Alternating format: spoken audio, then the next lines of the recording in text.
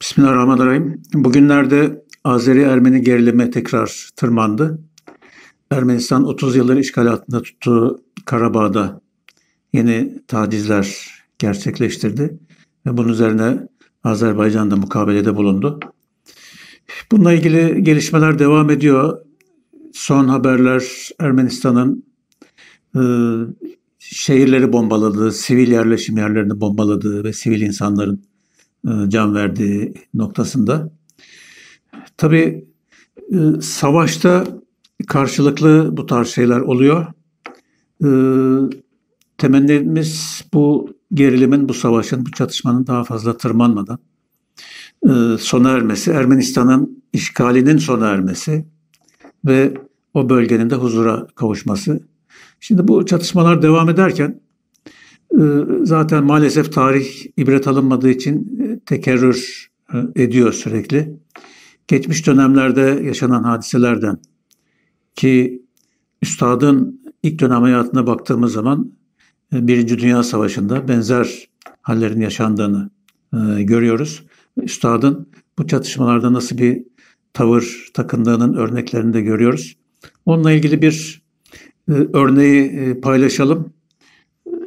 Savaş döneminde üstadın cephede bir taraftan savaşırken Ruslara karşı, Ermenilere karşı diğer taraftan sivilleri koruma noktasında nasıl bir hassasiyet gösterdiğinin bir örneği olarak e, tarihçi hayatın ilk hayatı, üstadın ilk hayatı bölümünde şu e, pasajı görüyoruz.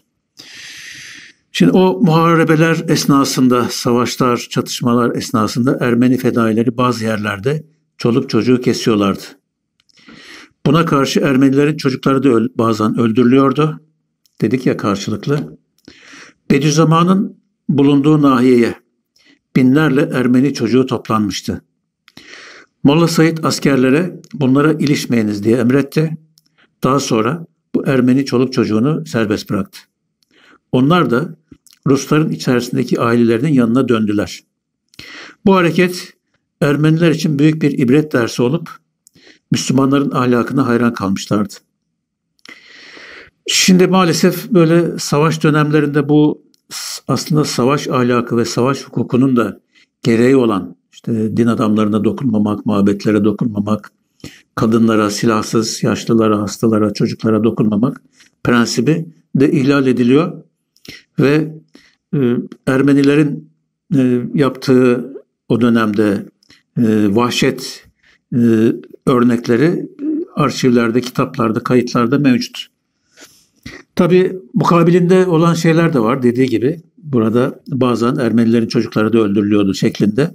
Müslümanın hele bunu hiç yapmaması lazım. Çünkü İslam peygamberi aleyhissalatü vesselam bunun tam tersini bize e, emretmiş. Savaşta bile dokunulmayacak insanlar var ki çocuklar, masumlar, siviller, kadınlar e, bunların başına geliyor.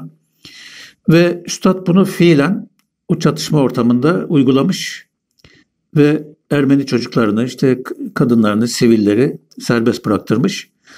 Bu dediği gibi Ermeniler için büyük bir ibret dersi olup onlara insanlık dersi vermiş o savaş ortamında.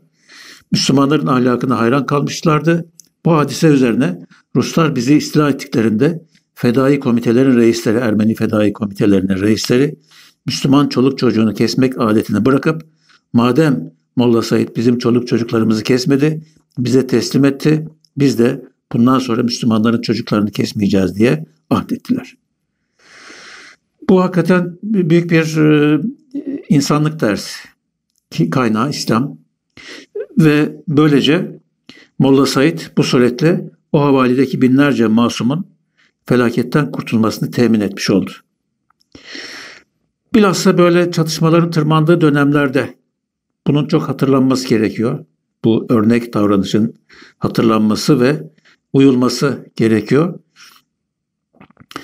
Yani sivil insanların yaşadığı yerler, şehirler, köyler, kasabalar, oralarda siviller var hassasiyete gözetilmeden bombalanırsa o zaman işte onun vebali daha da artar. Savaşın hukuku buna müsaade etmez. Savaşın da bir hukuku var. Onun için üstadın Birinci Dünya Savaşı gibi çok şiddetli bir savaş ortamında ülkemizin doğu kesimlerinin e, Ermeni ve Rus işbirliğiyle işgal altına alınmak istediği dönemde e, bu insanlık dersinin verilmiş olması üstadın e, başına çektiği bir insanlık örneği olarak e, tarihin sayfalarına kaydedilmiş olması e, mutlaka e, bugün de dikkate alınması gereken ve e, örnek alınıp uygulanması gereken bir davranış. Onun için bunu aktarmış olduk, paylaşmış olduk. Buradan çatışan tarafların, özellikle Ermenilerin ve yanı sıra Azerilerin de e, alması gereken ders var. Bu ders inşallah yerini bulur, yerine ulaşır ve bu çatışmalar sivillere zarar vermeden en azından e, askeri boyutuyla devam etse bile o da bir an evvel son bulur temennimiz ve bu işgalin kaynaklık ettiği gerilim e, biter. Orası da bir sükunete kavuşur ve masum insanların daha fazla zarar görmesine e, izin verilmemiş olur. Temennimiz, duamız bu. Bu ilk dersimizde, konuyla ilgili ilk dersimizde böyle bir örneği aktarmış olduk. E, mütakip derslerde konunun başka boyutlarına inşallah e, bakacağız yine eserlerden. Şimdilik Allah'a emanet olun.